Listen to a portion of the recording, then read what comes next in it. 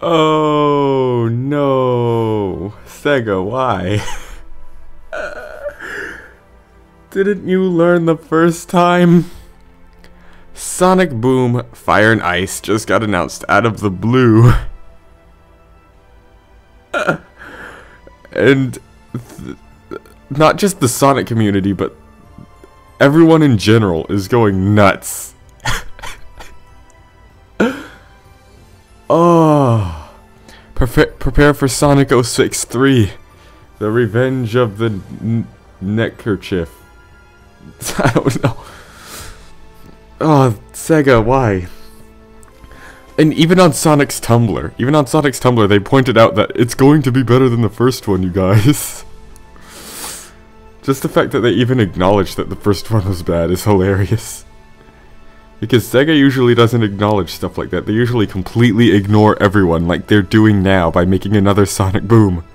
We're fine with the TV show. The movie, I mean movie, the game, no, no, we're not fine with. No more. I mean, for those of you who've been fans of me, uh, probably none of you. Uh, you may have seen my Sonic Boom Rise of Lyric review. Ah ha ha, I gave it a 1.5. And some people got mad, they're like, really? That low? Yes, that low. It was a terrible game. At least 06 had good music. This has nothing. Ugh.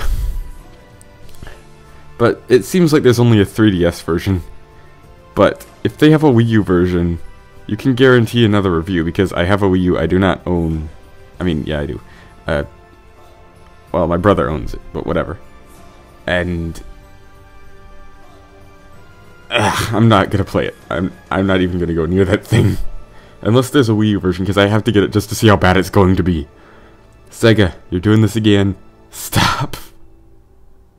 oh, this fire and ice thing just looks like a big gimmick, like the wisps. This is hilarious. I'm dying. I am dying but not as much as Sonic's dying.